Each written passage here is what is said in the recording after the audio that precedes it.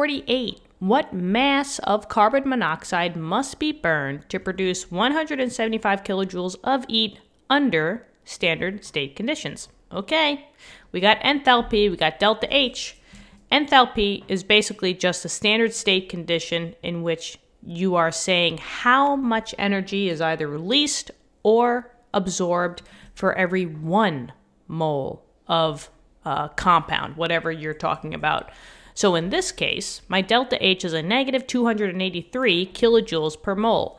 If I just wrote this out as an algebraic sentence, right, with an equal sign, I would say that for every one mole of carbon monoxide, and carbon monoxide is represented by CO.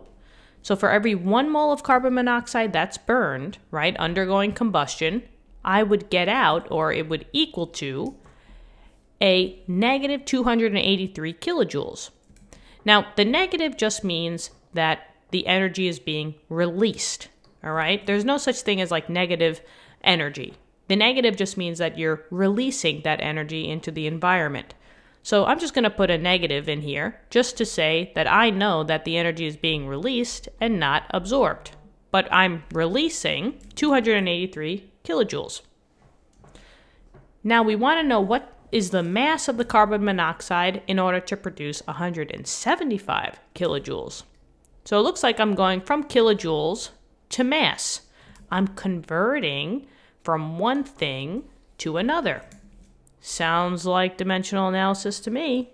So always always start with what you're given, right? I got 175 kilojoules. And now how am I going to get out of kilojoules? Well, I have this little ratio here. I have a relationship between kilojoules and moles. So that's my first step. And whenever we do a ratio, we, you know, times by the, or whenever we do dimensional analysis, we times by a ratio.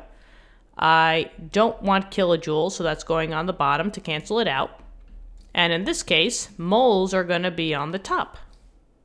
But now, what is the numbers? Well, for every one mole, and maybe I should be more a little bit more specific, I'll say one mole of carbon monoxide, CO. For every one mole of carbon monoxide, basically 283 kilojoules are going to be released. Now, you have two options here. You could put the negative here, but remember, the negative just means that it's being released. There's no such thing as a negative amount of energy. It's just signifying that the energy is being released. So I'm just going to say that I'm releasing 283.0 kilojoules. So I'm canceling out the kilojoules. I'm now left with moles.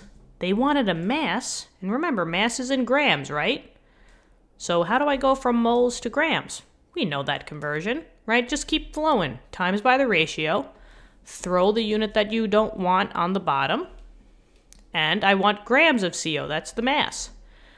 I have a gram to mole relationship of the same compound. That's the periodic table. And re remember, whenever we use the periodic table, it's always one mole. So let's go to the periodic table. What's the molar mass of carbon and oxygen? 12.01 plus 16. 28. 0.01. Cancel out the moles of carbon monoxide.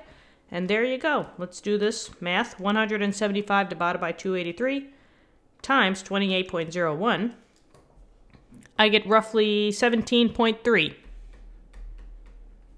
grams of carbon monoxide. And that's it.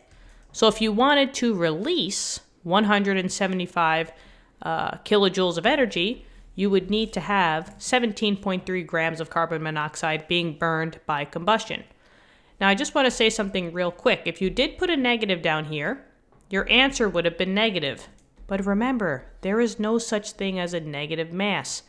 That's why, for these types of instances, just know that the negative is being released. It's not really a negative value per se, just means released. All right? Thank you so much for viewing the video. Please let me know if this helped. Love talking to you guys.